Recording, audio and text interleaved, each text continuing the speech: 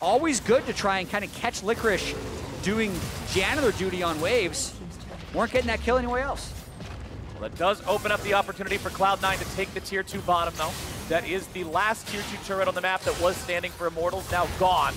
Baron power play is currently only at plus 1200, which is under the value that taking the Baron itself gives your team. Mm. So Cloud9 needs to get a little more out of this for it to really feel worthwhile. Once Licorice respawns in 10 seconds, he will have TP to be able to join this fight. Hakuho nearly taken out. The damage and the range are so oppressive from Zven in these trades. As the bottom lane inhibitor turret falls, TP is channeled, and Cloud9 will utilize the last 70 seconds of this Baron to push hard in mid and bottom lane. Yep, fun fact, Senna autos do not get blocked by Wind Wall because they are not projectiles, so makes it even harder for them to defend. With Xmithie rooted up, this could be bad news here for the side of Immortals. They will disengage properly, but they have already lost inhibitor number one. Number two now the target. Baron Enchanted minions in two lanes. The cannons just harassing Altec there in the bottom side. As you'll see the mid lane inhibitor fall here in just a moment. And that is two inhibs taken out plus 2,000 now on that Baron power play clock. And that means Cloud9 are feeling good about the state of this game. Elder spawns in 30. Yeah, what were we saying before that Baron happened? They'll use the Baron, get in Hibs, and that'll open it up for Elder for them to be able to get that. Yeah, every uh, predicted that pretty well. Every move in this game has kind of been like clockwork for C9. They, it like the very first play of Zven soloing Eika, that's the individual outplay right? Nisqy soloing Yeah, sorry, Nisqy soloing But from there, it's every other play is kind of rolled off. It's like, okay, he now has mid priority, so they might just win here.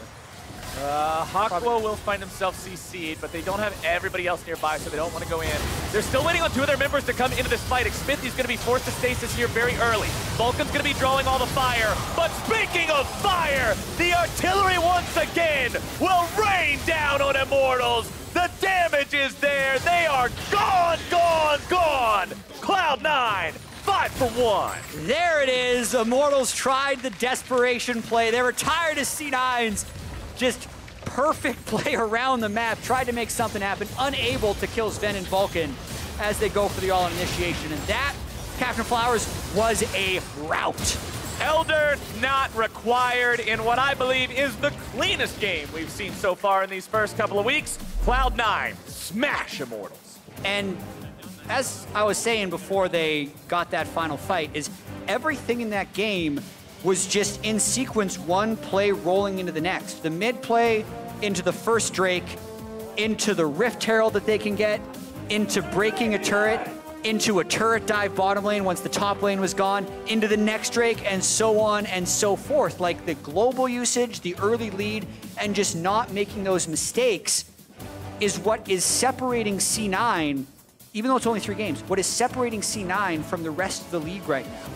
I can't wait until they play Dignitas because they played very well today as well. But That'll there's a really there's a difference in the way these teams approach the game. C9 is picking champions that have an advantage from minute one onwards that will not have an advantage at 30 minutes if they do not make plays. But they have been making the plays in this game, and that was impressive. Cloud9 looking so good here in these first three games. Deathless on three members, Blaber, Zven, Vulcan. Not one of them saw a black and white screen that entire game. So well done by this team. Four out of five champions on Cloud9 in that game had a global or semi-global ultimate. And yeah. it just played into how seamless it made their communication and their plays look. Yeah, there couldn't be a spot on the map where Immortals could go. And it's it's really interesting too, because when we're looking at this C9 team before the season. We're saying, okay, Sven is gone, Sneaky is gone, Zeyzal is gone. That's like the shot calling core. How are they going to look after the first 15 minutes? Pretty good so far, right? Yeah. Their boot camp has been solid. I think Vulcan is proving to be such a great addition as well. They look super good. Well, in the wake of that super good looking victory, let's go ahead and send things down to Avli, who's standing by with Cloud9's top laner. Thanks, Flowers. Cloud9 is looking super good because they are remaining undefeated with this victory. Now, Licorice, with uh, week two and TSM and Team Liquid still looking a little shaky, people are now looking at Cloud9 as the top team. So do you see Cloud9 as the clear number one, or is there a uh, threat in the league? Um, I mean, I think right now the only team that looks super threatening to us is Dignitas because they're also the only undefeated team. Um, I think if we beat them, we'll be like the clear number one. But until then, it's like I think we're stronger, but it's hard to say for sure. Now, a lot of people are looking at Dignitas and Froggen as the main menace. Do you agree with that, or is there something greater? Um, I mean, I think they had a really strong start. I think that like they're they're shaping up to look like a strong team. I think that a lot of teams will pick up as the play goes on. Um, but right now, they're probably our number one opponent. And looking at you in Cloud9, you entered the team as a rookie on a team full of veterans, and now you are the longest standing member. So, what's the team like for you personally now that Sven Svenskeren and Sneaky are no longer on the roster? Um, I mean, with the new guys, it's been it's been good. Like we started early, we boot camped in Korea. We worked on team synergy because we like came in as like a new team, like a lot of fresh players, and like not having those old guard there like really changes the team dynamic. Um, and so far, it's been really good. So I'm really proud of my team. Do you feel like you have a little bit more weight or clout when it comes to team decisions? Um, I don't know if I'd say that. I think like at the end of the day, I think Reapered is like the big boss, um, and like everyone just gives their input, and I think we just all work really well together. Well, your next match is going to be against 100 Thieves. Now, they've been having a little bit of difficulty in the early game, but they somehow pull off the win in the late. So, is that something that you take into account when you prepare for them? Um, not really. I, I, mean, I think we play a pretty clean game right now, apart from me dying uh, right after we got Baron. Like, the, we closed out the game really cleanly. And I think as long as we play like that, we should win tomorrow as well. Final question for you. Uh, I saw that you guys banned Sett on your side. I believe Ssumday broke out the Sett for today and had a pretty good performance on that. Is that a champion that you are a little nervous to go against in the top lane? Um, I think with the new champions, it's kind of just like it's like this wild card effect where when we look at ourselves, we are like we are a really strong team, and if we play standard, we like win most games. So if we just don't open up the Sett that like might randomly like 1v5 a team fight, then it's just easier for us. Well, Licorice, thank you, and congratulations again on the win. And for everyone else, stick around because after the break, we're going to see Golden Guardians take on Evil Geniuses. Morag, are they typing? Yeah, they said better jungler will win no matter what. Oh shit, so I hate that bug. Yeah, I mean, that's uh, nothing new. Finding a really good trade onto Eika here. Ignite drop down, nicely done! Right, right, right, right. Yeah, no flash, bud. Yes, no flash. I can saw, I can saw. Son, I'm on Karma. Nice. Karma no flash. Yeah. Okay. I'm on the Rift still. Rift, Yeah, Rift, yeah, Rift, Rift, Rift, Rift. Finn grabbing a killing spree there onto Hakuho. Double kill for him. All tech's gone. Man, Immortals just lost three. They're all dead. They're all dead. They're all dead. Oh. No, my stopwatch! I need to see on my screen. I oh. died, Venom 1 2.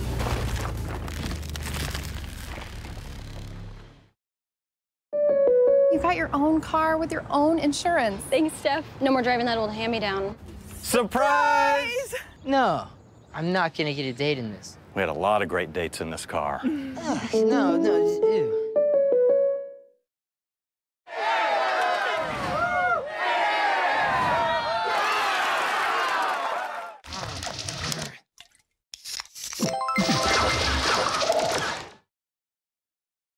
When you're chasing greatness, just remember it's not about what you say, it's about what you do.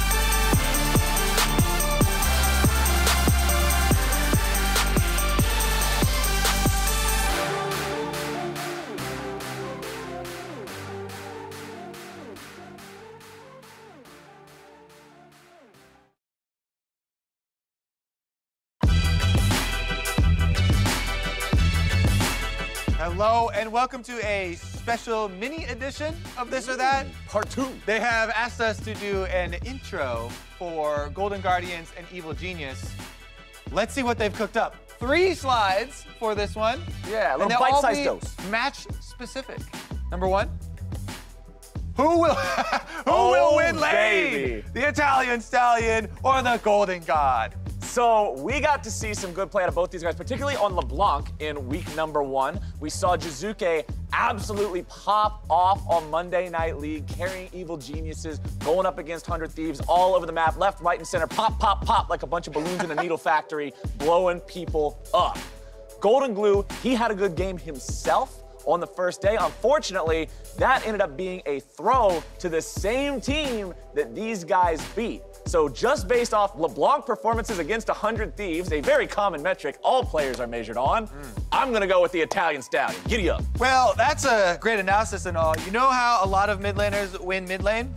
How is that? Jungle diff. Okay, Uh, and Jiizuke has MVP, former MVP jungler Svenskeren, who admittedly did have a bad opening game. So it is possible for uh, Svenskeren to have a bad game, but Closer is also a, a jungler that has really impressed me. So when you even bring in the jungle diff uh, part to the who's going to win mid lane, both of them I think have really good partners to rely upon. But I'm going to give the slight edge to Jiizuke and Svenskeren. All right, so we both went with this on number one. Let's hit up number two. What do we got? Keith, make brief.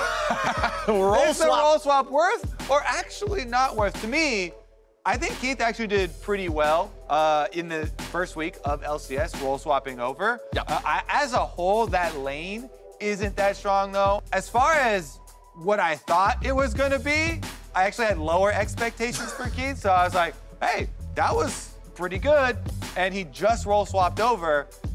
Ah, man, this is a real tough one for me. So break the ice. So see, for me, the way I'm looking at it is from the perspective of what is the path to consistently playing LCS right now for these players. So when you're looking at a role like AD carry or mid or jungle, honestly just not top of support, these are the ones that people usually want to import more for these big name like League of Legends Hollywood stars from other regions come in, have them carry your team, get to playoffs, go to worlds, hopefully don't lose in groups, yada yada yada whatever. But if you want to be an LCS player, it is more realistic if you are not in that Doublelift Bjergsen Jensen tier of players to get in there as a support because it's less populated with these superstar players. I don't think it's the question is is the swap worth for Keith or not because I'm looking at it from Keith's point of view, man. Who's gonna think about Keith? Okay, okay. I'm thinking about Keith. And for Keith, I think this was a smart career move. I say worth. if we look at it for the lens of Keith, is the role swap worth? He's in the LCS. Hell yeah! Hell worth. yeah. All right, next slide. Golden Guardians win condition. Is it Hauntzer? Is it closer? For me, boom, it's closer. This guy was all over the place. He's creating action for the team. I think he has to be a big part of Goldenglue winning over Jiizuke, which we went over in slide number one, because mid lane right now, trying to transition is going to be a very big deal. Plus, trying to get control of the neutral objectives nowadays. So I think it's got to be closer. Top line, top lane is still an island.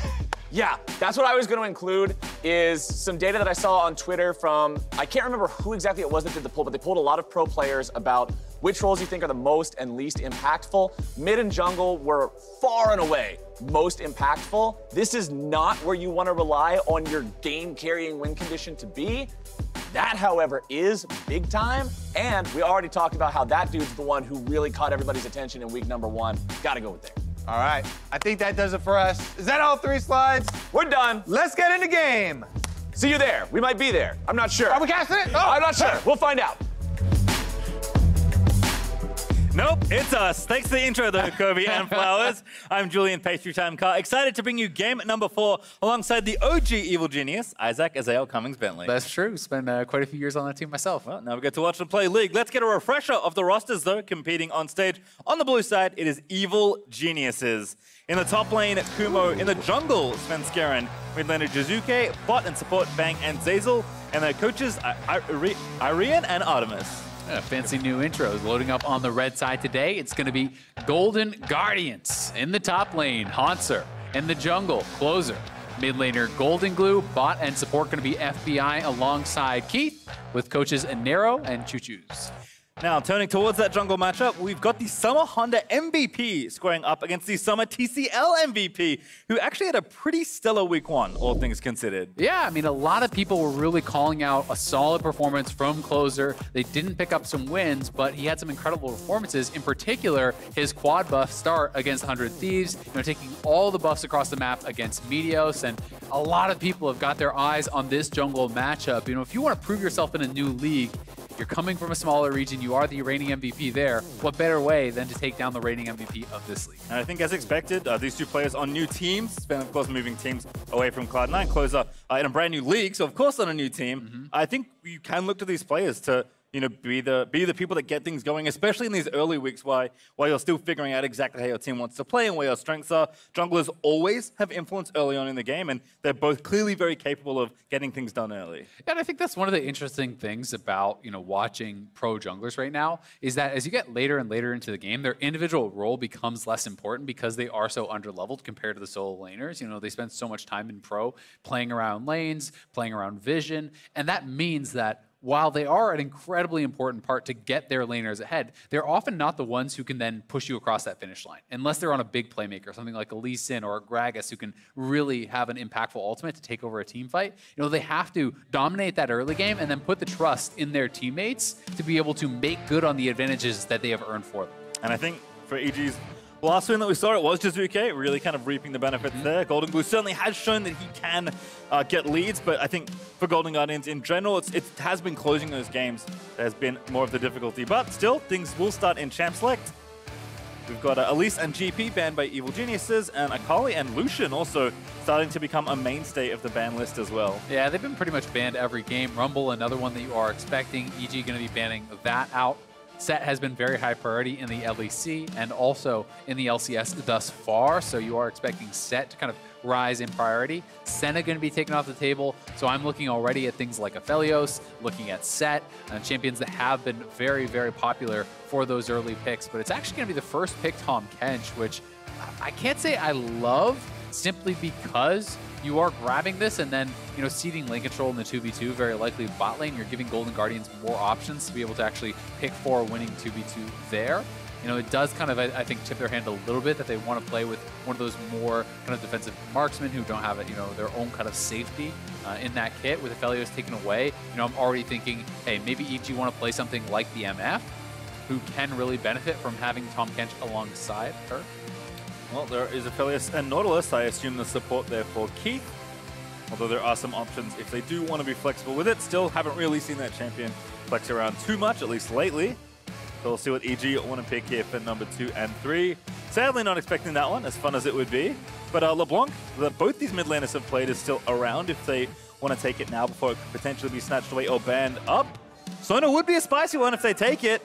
So Sona top is actually gaining a lot of popularity and it is going to get locked in. So there is a possibility that this is going to be Sona top. That is what I'm expecting. You also have to remember that it can be flexed around. There was a period where there was a lot of Sona Taric. Sona Tahm Kench was the other kind of option there. Uh, so there is a possibility of that being flexed, you know, depending on what top laners are picked, depending on you know how comfortable they're going to feel in that. But regardless of where it's played, a Sona with an incredible amount of gold does scale very, very well. And one of the most underrated things, something I was talking you know, recently with Kobe uh, about, is the incredible amount of move speed that you get. This AoE move speed from that Sona E, you know, starts at something like 25% flat move speed, scaling with AP. Does get very, very powerful.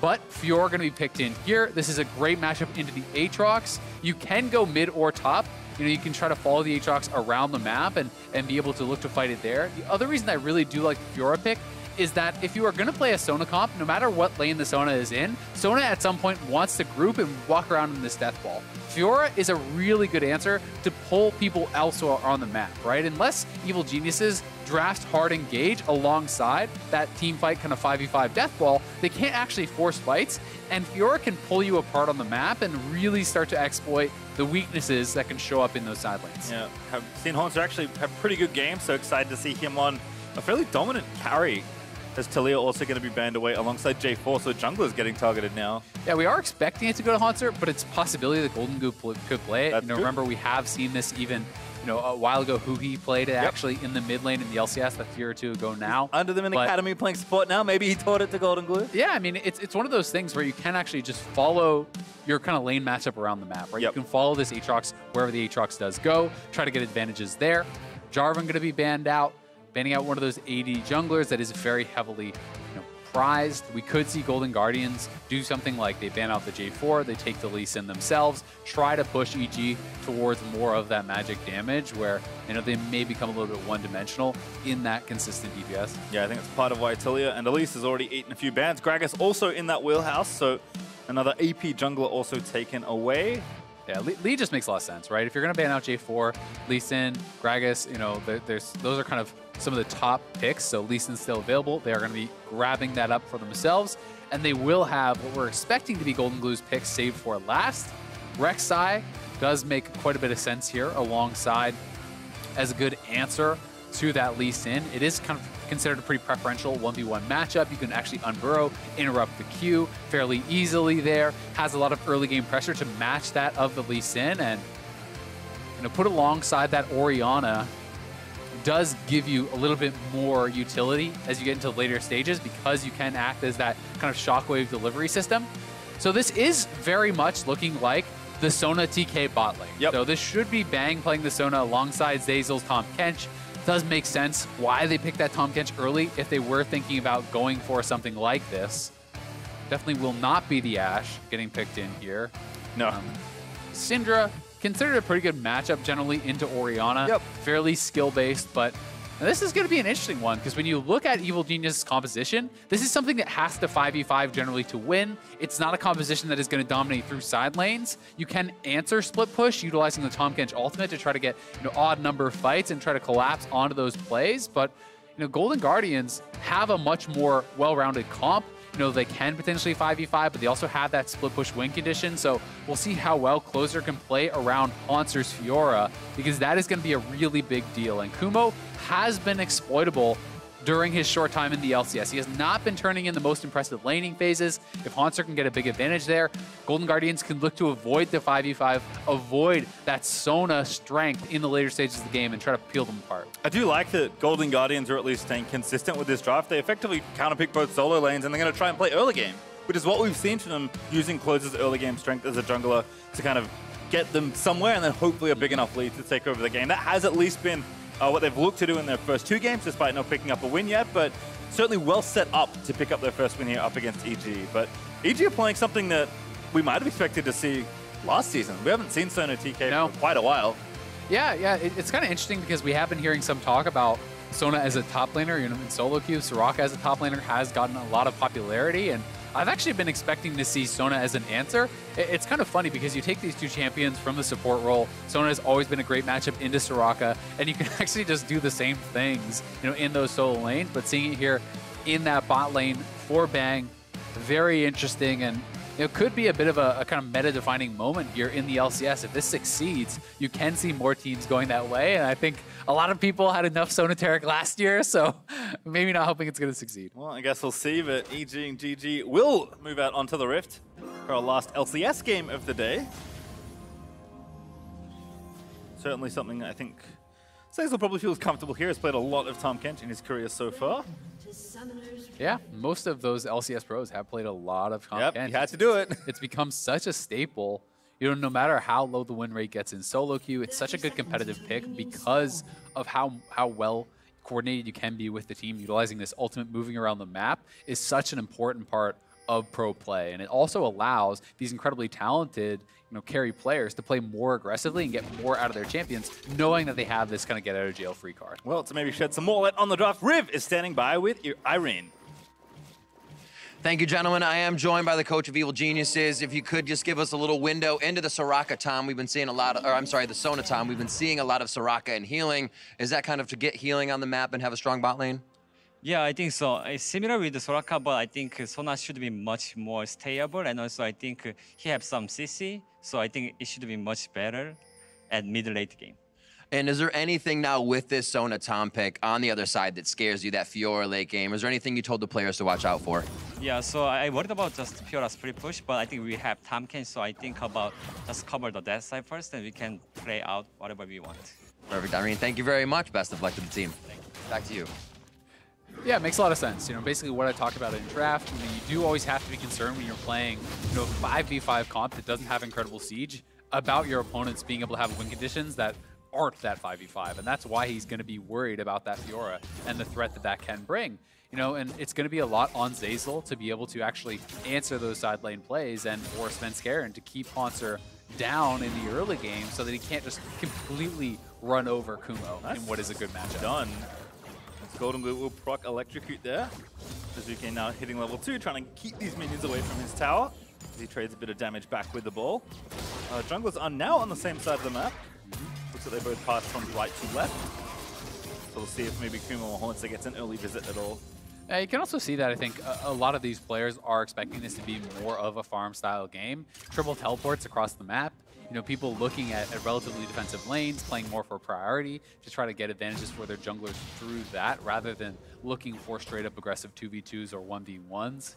You know, Goldenglue, Jiizuke, both taking teleport, Bang and FBI both taking teleport here too. So uh, both teams feeling relatively comfortable, I think, you know, to scale towards the later stages of the game and just play around uh, that.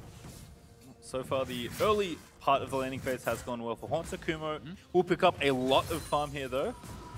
Yeah, this is this is pretty much a no fun zone for Aatrox. It's a really tough matchup as uh, we're going to see Sven Svenskeren coming up for Goldenglue, but he's playing to the side that Closer is on, so this is good positioning from him, and we'll see if they are going to go. Closer's here. Now they know. Oh, actually pushed them back. Good flash there from Goldenglue. The TP's come in. Closer going to look to try and shut this out, shut this down, but no follow-up, and kind of a waste of cooldowns there from Hauntzer. Yeah, I don't think the Q actually connected from Closer, so that was going to mean they probably would not have lethal damage. It is actually a trade of flashes, but it's a flash off Goldenglue, so Svenskeren's going to be happy about how this gank worked out. Yeah, he's down his flash, but he got the mid laner's flash and the top laner's TP, so that is a very worthwhile play, but you know, it's not the end of the world for Hauntzer because he did actually get his base, and because he had fully reset the wave, he really doesn't lose much off of this besides, you know, maybe allowing Kumo to have an easier reset himself. So know, most of, of this lane is going to be Kumo on the back foot. Aatrox does struggle in this matchup. Fiora can both poke you down utilizing the vitals, and also the all-in becomes very difficult because Fiora can simply save the parry for your Q3. That sweet spot damage is very, very easy to parry, very telegraphed, and without that, it's incredibly difficult uh, for the Aatrox to actually win those all-ins. Oh no, Closer gonna lose oh. it to oh. Kumo! Didn't have Did smite. not have smite, it's a few seconds off. So Kumo gonna roam down and take that Scuttle Crab. Yeah, that feels really bad. Not only is that a lot of experience, uh, but it's also the gold lost there uh, for Closer and the time spent to actually clear out that camp, so pretty frustrating. It gives away the fact that he is going to be up on the top side of the map, so they can expect that he would be over on Krugs now. And you know, as a result, you're seeing Svenskeren move up to that side. He knows he needs to cover Kumo right now because Kumo has not actually fought yet.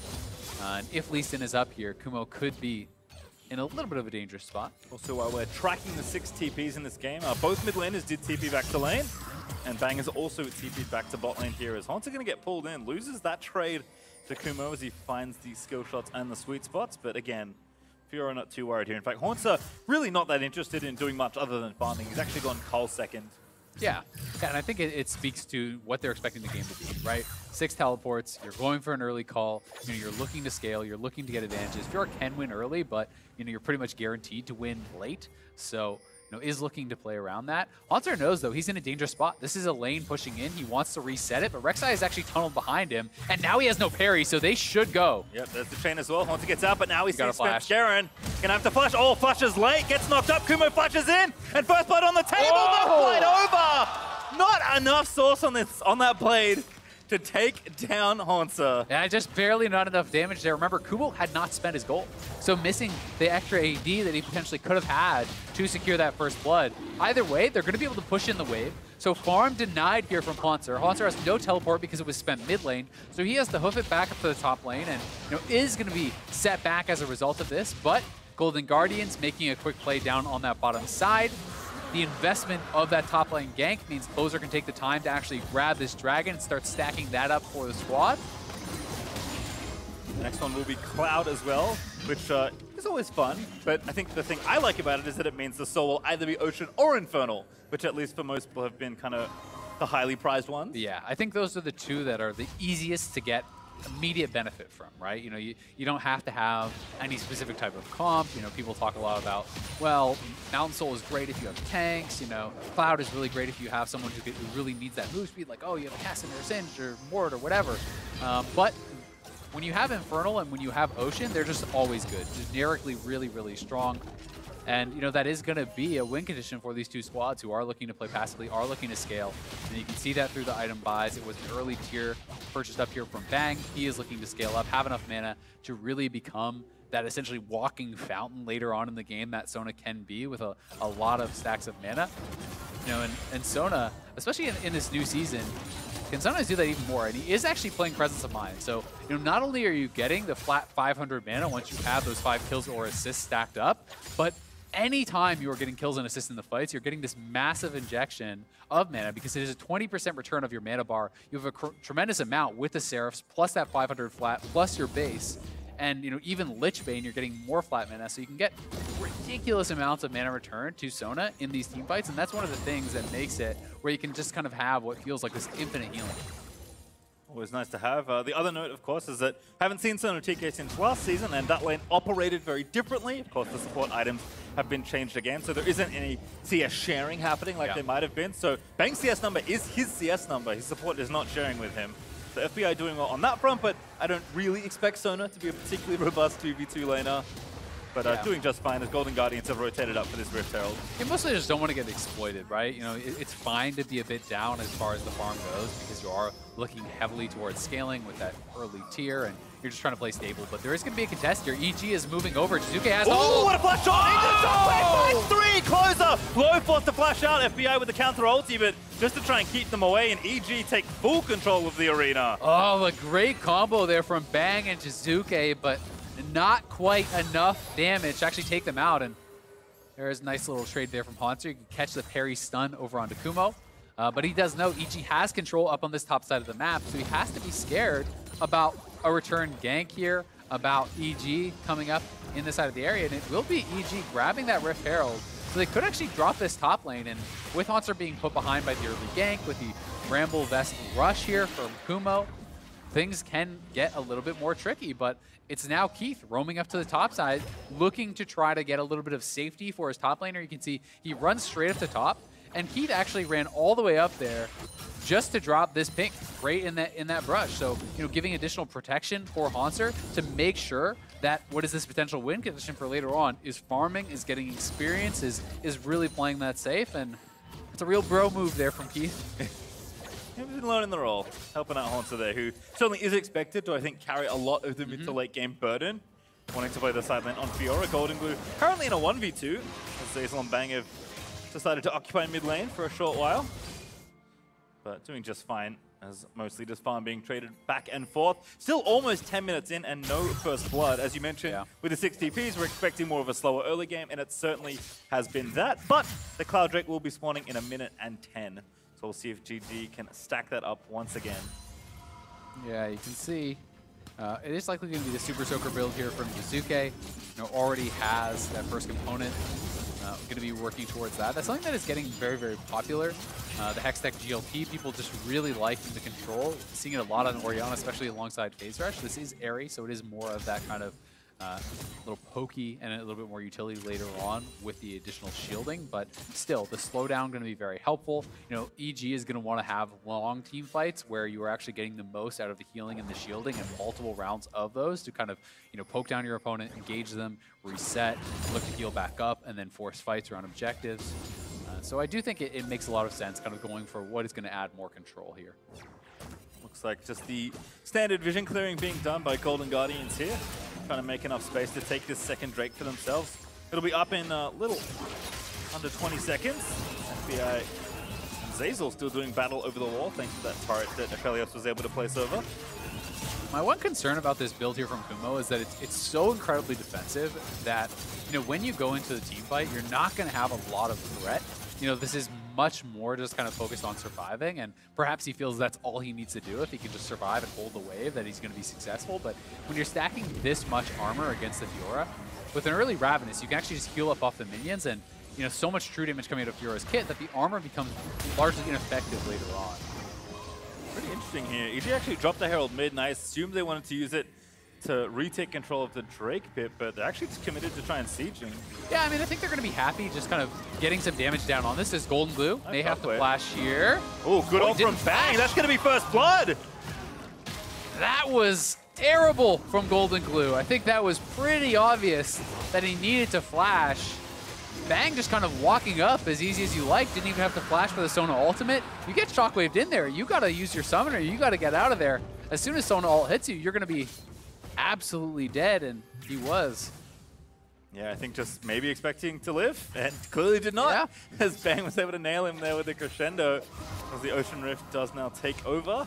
Hauntzer at least got some free time, so he's picking up gold and farm in the top Mm-hmm. lane, but the Drakes will be split as well. Watch this again. A great shockwave here from Jiizuke. Yeah, this was a great shockwave, but he has tons of time. And Yeah, he's Bang is- walking. Is, clearly just walking straight towards you. Perhaps he thought maybe I can hit him with Scatter of the Weak and save my, my flash, you know, save that summoner spell, but a Goldenglue just getting too greedy there and does get punished, gives up that first blood.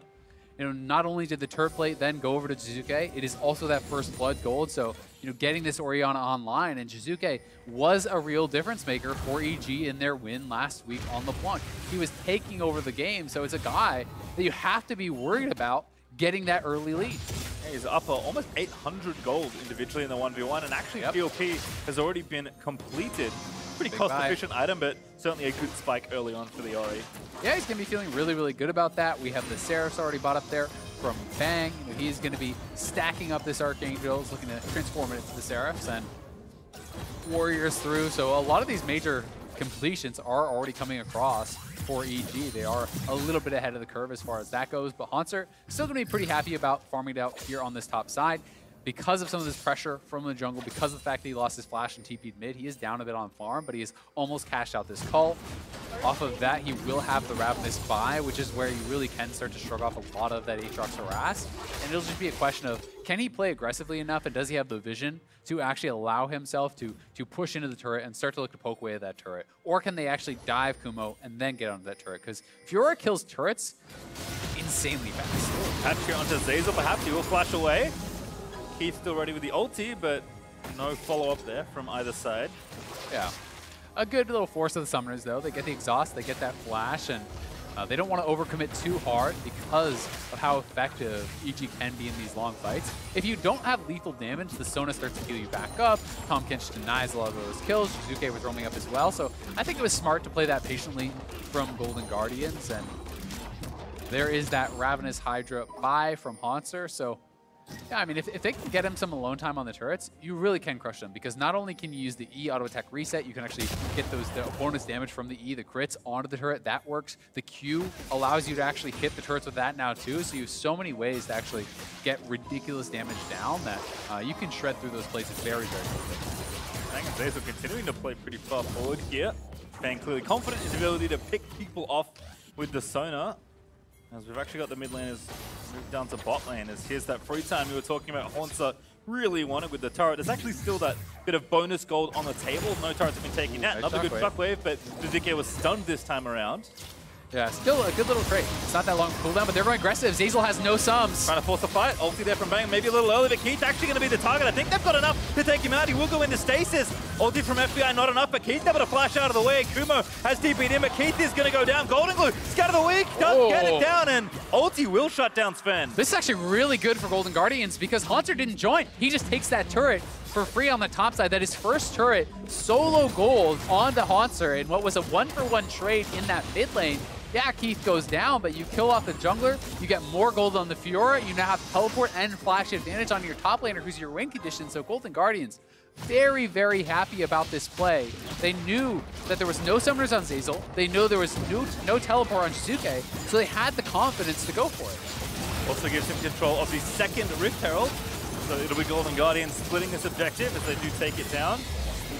And with that first turret going over, thanks to the sequence of play that just happened, you have to think they'll be able to get one extra turret with that Herald to watch this one again. Okay, here it is one more time. Hook onto Zeyzal. Early stopwatch to buy time. Uh, Bang does drop his ultimate, but it is just defensively on the Nautilus. And Keith utilizing his stopwatch as well as the flash to kind of back out of there. Keith does go down, but Goldenglue just lights up Svenskeren. And this is one of those punishing things. When you are so many levels down as a jungler, there's an incredible amount of gold and power in each level, in just the base stats that you gain, right? You're missing thousands of gold of stats for being down those three levels. And the level two ultimate from Syndra means Svenskeren is just going to get a erased, and they come out on top in that play. More than enough for that kill there as they do trade. But the Rift Herald still in the inventory of Closer, who's looking to drop that somewhere, maybe bot lane. Mid is uh, always a priority for teams. Yeah, so EG now going to try to actually force Golden Guardians to fight them at this dragon. They're going to say, you need to come to us or we're going to stack a soul up, and you're going to lose that way. But the side lanes are already pushing, and EG is really slow to actually pull the trigger on, on this play. You can see top lane already shoved in, bot lane pushing in, you know, and it's going to be Kumo having to respond. Now because of this, kind of wasted the parry a little bit there. Did get the stun, but you know, because of this, you have teleport advantage on Hauntzer, and now EG may lose priority. Very sneaky. They land on Jiizuke. That's Oh. a clean kill for Closer. Kicks away Sven to make sure he lives. Forced to flash. I imagine Safeguard was not back up. But again, they get another TP and get a kill.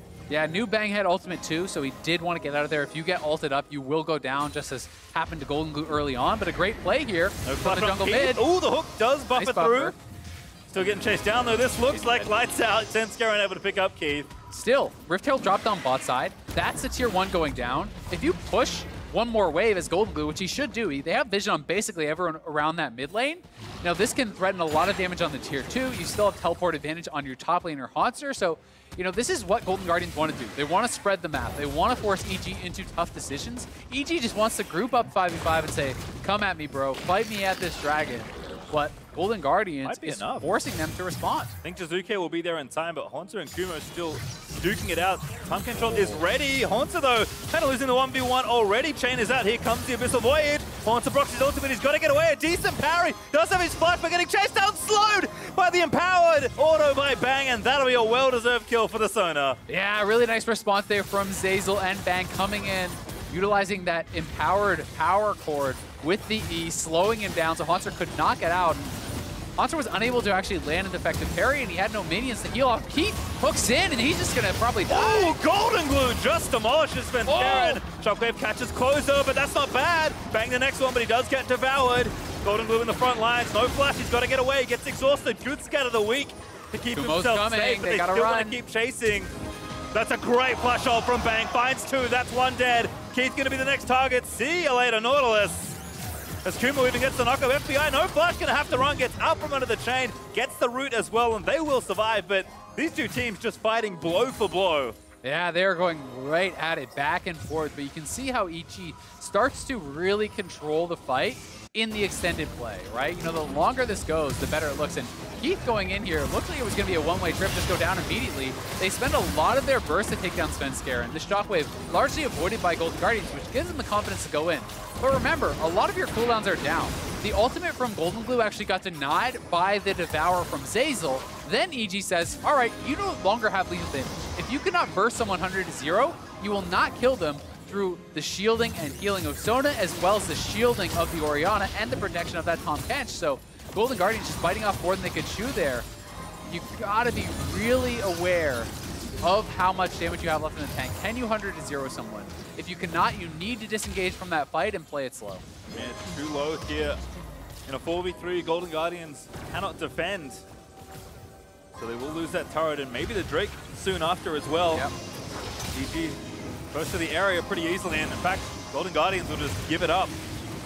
So that is going to be the second Drake, the first of the Soul Drakes here as that Ocean will go down. Still a little while to go. That's kind of what happens when you split the first few Drakes. There's not as much pressure unless the game drags on a little bit longer. Yeah, I mean, they split back and forth on those first two, and then that third was delayed a long time. Uh, so it's going to be some time, and, you know, Kumo has held up very well in this side lane. Their Tahm Kench's response was great on that earlier kill to take down Hauntzer and punish him, and it looked like Kumo was just straight up winning that 1v1 anyway. You know, the straight 100 to 0 all in is difficult at this point, because when you're hitting that Bramble Vest, it's reducing so much of your healing, right? You more have to kind of wear down the Aatrox and heal up off the minions utilizing the Ravenous Hydra. You know, until you have more items coming through, you know, until you have the Triforce and maybe even an item on top of that where you can just kind of shrug off a lot of that Aatrox damage. Also has about 1,200 gold to go and spend and is recalling, so we'll have Triforce I think then. we'll have enough. Yep. See if that does change the texture of the matchup at all, but still looking pretty comfortable in the side lanes Yeah. here. Doesn't seem like time to panic, certainly on either side, but Golden Guardians at least maneuvering themselves into a position where they want Hauntzer to be. Gold, regardless, so still staying close. It is really all those turrets. That's the big lead here for Golden Guardians, but the total gold is actually only a 1,000 between the two teams. Yeah, I mean, that's what those extra kills will do for you, right? You know, those were very big for EG, and you can see that Bang as well as Jiizuke scaling up very, very well. Uh, that Archangels has transformed into Seraph, so the shielding is now there. Additionally, for Bang, makes it harder to take him down. Jiizuke on two big items, and you know, it's not time to panic for either side, but for Golden Guardians, they have to be worried about the Ocean Soul. The Ocean Soul on top of all the healing and, and kind of oh, shielding and, and defensive abilities that EG has will probably make them unassailable. So, you know, they have a while, but this third dragon coming up in three minutes, it starts to get pretty scary if you give over three dragons because then one pick, one missed 50-50 means you give over soul and you probably lose the game. So Golden Guardians have got to get themselves in the best possible position to either delay this potential dragon or get a pick and then take it themselves. I think we are going to see a lot of this map positioning, though. Looks like Goldenglue is being told to go off and catch waves as they push the other side lane. Hauntzer is perma in the side lane here. He's actually going to try his hand at a 1v1 on Kumo. One level down. Decent parry. Keeps moving forward. Has not committed the ulti just yet. And Aatrox with his ultimate cooking. Too much right now for Hauntzer. Though, As you've mentioned, more, more poking him down at this point oh. as Bang finally finds an airball. Oh, it goes through the shockwave key. Little too far forward. He's going to pop the stone plate and FBI is going to blow up the Rek'Sai. Bang kicked in. There's the devour though for Zeyzal. He's going to save Bang, but Keith right there with a hook ready to go. Bang getting low for Kazuke. Just too powerful. Finally, Goldenglue's able to find the second kill. And they're going to head to Baron off this. This is Bang down, that's Svenskeren down.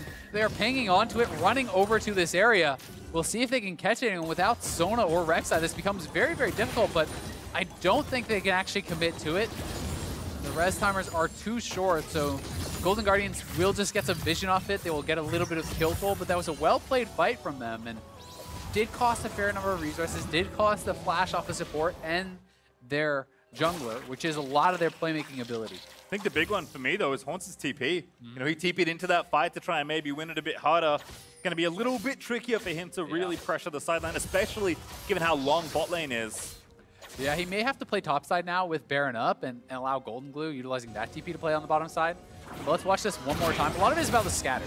So the scatter actually came down. Bang had buffered his ultimate. So what happened there is Bang presses ult as he's in range. But during the animation of Bang's ultimate, he is actually knocked backwards by Goldenglue, pushing him out of range. So that is what Goldenglue, I think, was actually going for on that turret dive where it kind of looks silly. But then we saw Closer come in with the kick flash, very nicely done to pull him back towards Keith, who could then follow up and kind of train down Bang. But even there, we saw how close EG was to actually surviving and stabilizing in that fight where they can start to heal up and turn. EG have also just committed to running five in the other lane. They're Yep. ignoring Hauntzer for now. They're going to take down this mid-tier two. In fact, the only two towers they've taken so far have been both in mid lane. Yeah, but I don't think Hauntzer has enough time, right? You know, he's not actually going to be able to get to that turret. So all he really did was push up the wave a little bit. They trade their tier two for that. Um, but Hauntzer is going to have to be able to get into a position where he can actually start to win this 1v1, where he can start to really pressure towers. And he's not there yet. Great shockwave on Keith. Yep, over the wall. Ulti out from Aphelios. Does get a big stun there, and that's going to be a kill against Svenskeren, eating every Syndra ultimate. But Kumo's here, going to try and turn the tide to the fight. Hauntzer, though, has made it in. This is great. That's a big pick for Golden Guardians. Keith may want to reset, but the Dragon is just about to spawn, so I think they're just going to run straight over and try to take it. Jiizuke critically is fairly low on mana. Kumo has no ultimate, so Golden Guardians should be able to take this Dragon, and that means it extends the clock so much on their split push game plan on avoiding EG's 5v5 and really being able to spread out the map because that is another five minutes now that EG will have to wait for even the potential of taking a Dragon Soul. We're sitting at 2 to 2 at this point, and that clock is always ticking on Fiora. It's kind of scaling in the background here. 2,000 gold up now for Golden Guardians, and I do like that EG seems to be very aware of the situation. And, I mean, they have the Tahm Jolt, which I think is why Hauntzer didn't extend too far down after they dipped out of mid from taking the tower. But also just EG are very confidently saying, okay, just everyone get in the lane and start pushing, because you have to give Fiora the least amount of time possible to kill your base. Yeah, and I mean, we're, we're seeing Sven Svenskeren really get picked on here. You know, you are going What are you gonna do? standard damage build as Rek'Sai, and he's so damn squishy. Tahm Kench is not really positioned with him because he's, you know, really focusing on defending the main carries, the Sona, the Oriana. So anytime Sven gets hooked, if Zeyzal's not there to devour immediately, he basically just dies to Goldenglue. And Goldenglue and Keith are actually comboing up very well alongside FBI for the follow-up damage to really burst down Svenskeren time and time again. And we are seeing Goldenglue now, you know, out to a really strong set of items. He's sitting on Death Cap, Ludens, plus double Spell Pen. This is incredibly efficient, amping all the spell damage that he already has, and it does mean Syndra can hit that lethal damage with her combo very easily. It does feel like Svenskeren's chance of survival is just dropping a negative every single fight. Jiizuke, though, does get a top lane outer turret, so a bit of counter pushing there on a side lane for EG this time around, but now it's Golden Guardians that are pressuring the tower. 4v4, actually 4v3 as Svenskeren is going to roam back in. Hauntzer looking to pressure the base as well. You know, he's all the way up here. If too many people respond, we can see EG continue to pressure, uh, get pressured rather in that mid lane. But with the minions dead, Golden Guardian's is going to have to play it safe, going to back off, and just continuing to try to establish more vision here. You can see just how important mid lane priority has been for these two teams, trying to get the shove, trying to clear out any wards. You know how badly uh, Golden Guardians are, are really trying to avoid any potential TP flank when, you know, look at all these pinks in this area, right? This is actually to clear out any deep vision from the opposing team to try to stop any potential TP flanks coming through. You know, everything really is about, it feels like, trying to avoid the 5v5, trying to deny vision and control this mid lane. And not that they really needed to, but of note, Hauntzer has just been sticking in the one lane here in bottom. His TP will be up well before Kumo's is. Bang though, looks for the flash ulti and does miss. Hook now going to land in onto Zeyzal, who has used the Devour. But this time Hauntzer, again, doesn't have his TP, is willing to stay in bot lane. EG need to find something, they will maybe catch Keith, but the kickback in onto Kumo is going to grab the shutdown, and now it's a 4v4 with Hauntzer in the bot lane. All they have to do is buy time. They just need to stop EG from getting back to the base, and Hauntzer will take the inhibitor, so they just need to push this up, harass EG on any potential recalls, don't commit to anything. You do not need to fight, so it is going to be the retreating Tahm Kench ultimate trying to get back to the base, but I think it may be too late. He could potentially commit to this. We'll back off and play it safe for now, though. So shoving down mid. Jiizuke going to get follow flashed on Keith, looking for it. No ulti, though. And the GLP will keep him alive. Good shockwave back. The stone plate will keep Keith alive, but only barely, as Hauntzer does finish off the inhib. Yeah, that is such a big turn of events for Golden Guardians. Being able to get that kick. Again, closer. Really nice kick back onto the Aatrox. And now they're on the Baron. And guess what? There's still the threat of this Fiora on the bottom side. Fiora is on vision, but has teleport. Golden Guardians are going to be able to get this Baron. There's no way that EG can even contest at this point, and Golden Guardians are playing a fantastic game. Yep, no vision here. They do have a war, but they'd have to blind TP for the Baron, which doesn't really sound like a very attractive option. No Kench Jolt was already used, and with Hauntzer having too much pressure, it is a nice run of objectives for Golden Guardians. Pick into Inhibitor, into Mid Tower, into Baron. I'm really hoping we're going to get to see a replay on, on that Miss Sona ultimate. You know, it kind of looked like Bang didn't get the full distance on his flash before the ultimate went off. I'm not positive about that, so I would like to be able to rewatch that one more time. Uh, we'll see if we'll get that replay, but you know, Golden Guardians now on the Baron power play here. Bots are going for actually a, a, fairly defensive build. It's actually building towards a Spirit Visage as that third item. That is pretty interesting here. So I think he, he's feeling like he may have to actually commit to a fight. You know, look for that 5v5 to actually close out the game and maybe feels they're going to be in a spot to do it. There is a lot of magic damage coming out from the Sona plus the Oriana, so that would make some sense there. But for now, they have pressure on that bottom side. They have the Baron buff, and let's watch this one more time. So did Bang actually get full distance? Uh, he is going to actually look for it. And we'll just kind of watch. Yeah, so he did, but that was actually just pretty far away. You know, was pretty optimistic. Maybe could have tagged someone on the very edge of that, but that does sometimes speak to one of the things that we talked about last year when they just kind of came into the bot lane, is that sometimes you saw the players weren't fully comfortable, didn't know those ranges as well as they would on on the standard marksman champions because they put thousands and thousands of games in on your Caitlyn's and your Xayahs and whatever. How many games does he really have played on Sona? Probably not that many. Certainly not. And certainly his earlier ults did look better, but that was always going to be a very difficult ult to hit for the most experienced of Sona players. And it's a costly one. Yeah, and it, it kind of feels like EG getting desperate when maybe they didn't need to. I mean, now they're behind a Baron, they're in Hibza uh, down in bot, they have super minions crashing everywhere. Like, now this looks bad. Yeah. 5k down, but before that, EG were playing a fairly controlled game, just letting the, the Sona scale up and answering the map movements nicely, but Golden Guardians just broken it open off that one little misstep. Yeah, yeah. I mean, they, they were you know in a pretty good spot, but you could feel that maybe they're a little bit too worried about the Fiora, right? And, and Fiora taking over this game, but it's going to be engaged on this top side. Keith again, into Stone Plate he goes, fairly tanky. Good old there, finds a triple root for FBI. But uh, I think Keith's gone here. Yep, Kumo going to get the finish off. Hauntzer in the meantime playing PvP.